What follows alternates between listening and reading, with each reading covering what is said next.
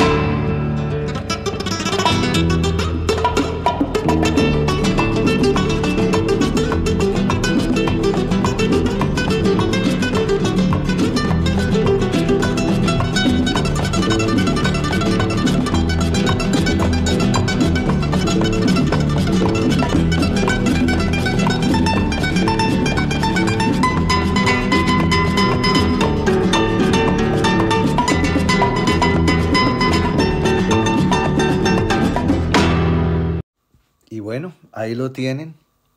Un artista y músico excepcional. Y alguno dirá, bueno, pues, pues toda la vida tocando guitarra, pues, pues tiene que tocar así. Pero es que este video corresponde a una presentación de 1974, a la edad de 27 años. Entonces, pues creo que es una cosa extraordinaria la manera como interpreta esa guitarra y, el sentido que le, que le imprime. Mm, Realmente es impactante. Y bueno, obviamente, como les decía, son muchos los premios eh, que recibió, los homenajes. Y quiero compartir ahora con ustedes un homenaje justamente eh, que le hacen a Paco de Lucía, un grupo de músicos, maestros de guitarra, que se llama el Barcelona Guitar Trio. Lo conforman los maestros Luis Robisco, Manuel González y Xavi Col. Nos acompaña un percusionista, Paquito Escudero. Ellos fusionan guitarra española y flamenca y presentan su show alrededor del mundo. Es más, este mismo año, o en este momento, están en concierto, en gira de concierto en España. Entonces, mmm, ellos hacen en su show un homenaje a Paco de Lucía y justamente interpretan la canción Entre dos aguas. Los tres maestros tocan la guitarra, pero no es solamente que dos acompañan y uno puntea, sino que se turnan el punteo los tres, o sea, los tres llevan la melodía, es decir, lo que hace Paco de Lucía, ¿verdad? Porque ustedes lo vieron allí tocando, pero pues detrás tenía un percusionista y tenía dos guitarras que llevan el ritmo, entonces, y manejan los bajos también. Pero ellos puntean los tres y son virtuosos los tres. Y llegando hacia el final, y quiero mencionar esto para que presten atención en ese momento, hacia el final de la pieza musical, entran a puntear en simultáneo dos de las guitarras armonizando entre sí. Es decir, no están tocando las mismas notas, sino a dos voces. Entonces, es una cosa espectacular porque a esa velocidad en que están haciendo el punteo y hacer eh, dos, eh, dos escalas diferentes, digamos, o no son diferentes las escalas, sino haciendo dos, cada uno está siguiendo dos escalas distintas dentro de la misma armonía y entonces es perfectamente ensamblado y, bueno, es una cosa de admirar también. Y bueno, posteriormente a esto vamos a seguir comentando. Vamos a escuchar este, esta presentación, homenaje a Paco de Lucía por parte del Barcelona Guitar Trio.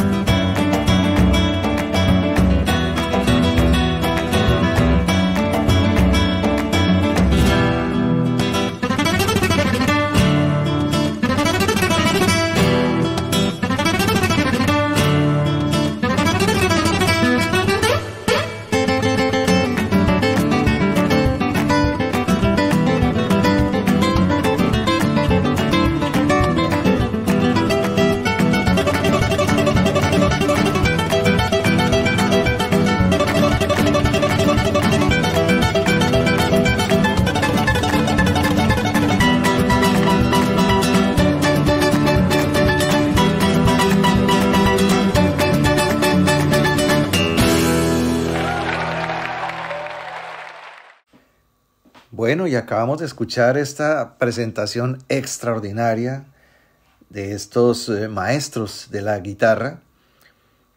Y bueno, es impresionante, creo que se habrán dado cuenta y si no, pues pueden repetir eh, el video y observarlo de nuevo. A mí me encanta, es muy bueno.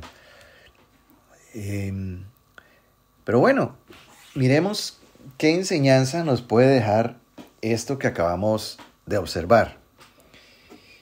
Normalmente acostumbramos a, alabar, a honrar de palabra, a aplaudir, a, a decir gloria a Dios. Mm, muy bien, hermano Alfredo, felicitaciones. Qué palabra, qué ministración. Y como que el homenaje que damos es eso, son eh, simplemente unas expresiones, mm, pero que el verdadero homenaje que podemos dar a nuestro Padre Celestial y a aquel que nos engendró en el Evangelio y que nos está trayendo una palabra de arriba y que nos está ministrando todos los días, pues no es un homenaje de aplauso, sino el de seguir el modelo, seguir el ejemplo, de hacer las mismas cosas, de que así como hemos recibido la vida y la palabra, nosotros también llevemos la vida y la palabra a otras personas. Que nosotros podamos hacer lo mismo. Jesús mismo le dijo a sus discípulos, cosas más grandes que estas haréis vosotros, las que yo hago, más grandes que las que yo hago, mayores que estas haréis. Es decir, ustedes van a hacer lo mismo y más allá. Es lo que acabamos de ver. Estos músicos tocan la misma pieza, pero van más allá. Le imprimen algo más adicional al meter estas, estos punteos simultáneos en dos voces diferentes, enriqueciendo aún más el tema. Entonces, ¿cómo es la manera en que vamos nosotros a honrar y a dar homenaje si no es mediante la acción, el ser el alcanzar esa misma naturaleza. Porque es que cuando decimos a alguien, usted es mi padre, pues es que tengo la misma genética, la misma naturaleza, la misma esencia. Y me ocupo de los negocios del padre, ¿qué significa? Pues que hago eh, lo que hace el padre. El padre se ocupa de unos negocios y llegado el momento yo tengo que ocuparme de esos negocios porque es mi padre, es mi casa, es mi familia. Entonces yo también tengo que traer una palabra con vida, con poder. Yo también tengo que anunciar el Evangelio. Y de esa manera estoy honrando, homenajeando a aquel que me llamó. Entonces, esto nos sirve es para que entremos en una acción de seguir el ejemplo, de seguir el modelo, de ejemplo nos ha dado para que sigamos sus pisadas, dice la palabra, no para que le aplaudamos y para que digamos gloria a Dios. Y sigamos haciendo lo que nos parece y en cuanto a la obra no hagamos nada, sino que participemos activamente de la obra de Dios, de la edificación de la obra de Dios. Y esa es la manera de homenajear, homenajear a alguien es siguiendo su ejemplo.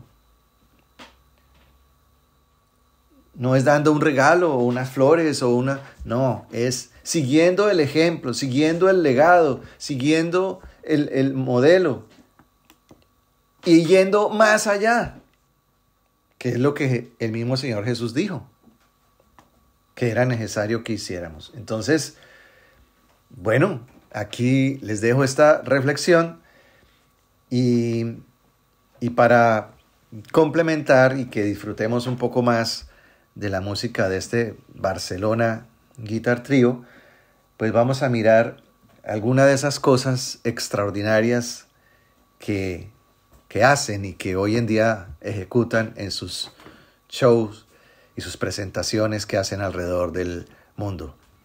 Con ustedes esta presentación de Billie Jean, canción compuesta por Michael Jackson.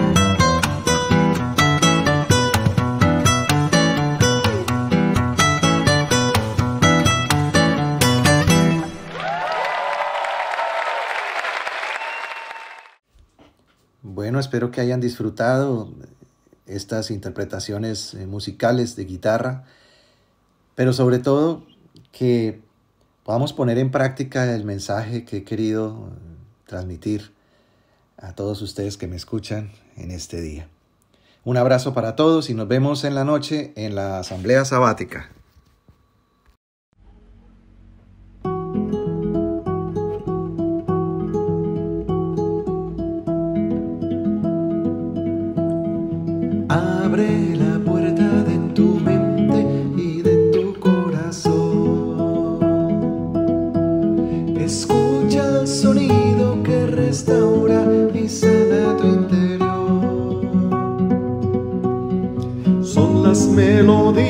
Melodías del cielo cuando habla tu Señor. Cuando habla tu Señor. Cuando habla tu Señor.